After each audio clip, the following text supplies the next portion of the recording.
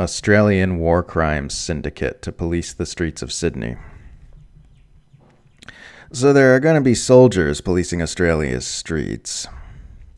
In what was already being called the harshest pandemic restrictions in Australia, New South Wales police have requested 300 Australian Defence Force troops to help enforce lockdown rules in eight local government areas in the suburbs of Western Sydney. The personnel will deploy on Friday, Defense Minister Peter Dutton said, and will begin assisting police with ensuring compliance with restrictions next week, Reuters reports. Army troops will door knock homes of people who have tested positive to COVID 19 and those deemed to be close contacts to ensure they are isolating in a crackdown on Sydney hotspots after New South Wales reached a record number of new infections, the Sydney Morning Herald reports.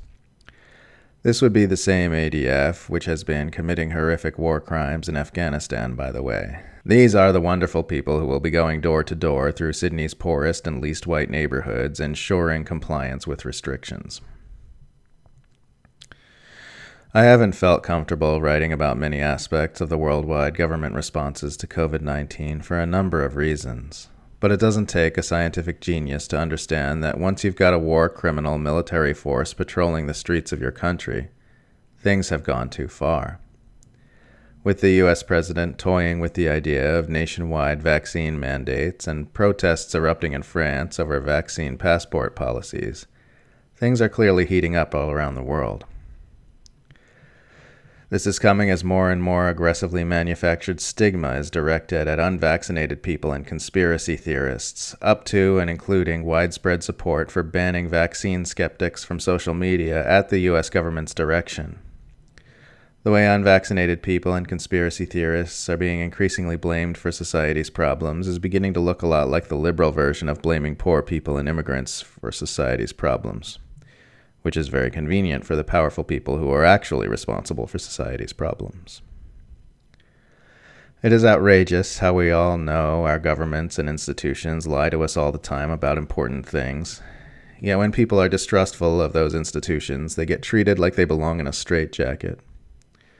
I mean, sure, this distrust can manifest in ways that are not well informed or truth based, but expecting all rank and file members of the public who work full time to have a perfectly erudite understanding of every situation is absurd.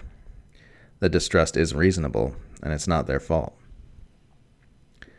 If people distrust their government and institutions, the blame rests exclusively on the shoulders of the government and institutions who created that distrust in the first place. You can't create distrust and then act like people are crazy for distrusting you. That's not a thing. If those in power weren't lying and propagandizing all the time and concealing what they are doing behind thick walls of government secrecy, distrust would never be an issue. The issue of trust would never come up at all because there'd be no need for it. People would just be shown what's happening in a straightforward and honest way, as should happen with any power structure, and people would conduct themselves accordingly. Instead, we're getting increasingly authoritarian measures slammed down upon us for being insufficiently obedient, up to and including soldiers patrolling our streets. This is very concerning, and we should all pay close attention. Keep ADF troops away from Australians, and away from everyone else while you're at it.